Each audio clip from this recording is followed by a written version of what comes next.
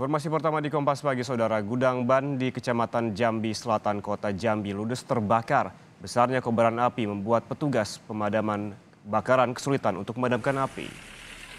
Lokasi RT 36 dekat kuburan Boho. Kelurahan Palmera, Kecamatan Palmera. Sebuah gudang tempat penyimpanan ban di kota Jambi ini terbakar. Area kebakaran yang menyimpan material dari karet membuat api cepat membesar. Lokasi kebakaran yang jauh dari sumber air membuat petugas damkar kesulitan, kesulitan untuk memadamkan api. Api baru bisa dipadamkan tiga jam kemudian setelah belasan mobil pemadam kebakaran diturunkan. Belum diketahui secara pasti apa penyebab kebakaran, sementara petugas damkar melakukan proses pendinginan. Tidak ada korban jiwa, sementara kerugian ditaksir mencapai ratusan juta rupiah.